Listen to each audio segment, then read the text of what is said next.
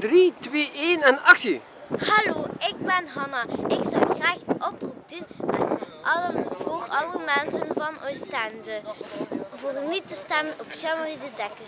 Want eigenlijk is het maar een, een mietje en een sukkel en hij kwijlt uit zijn mond.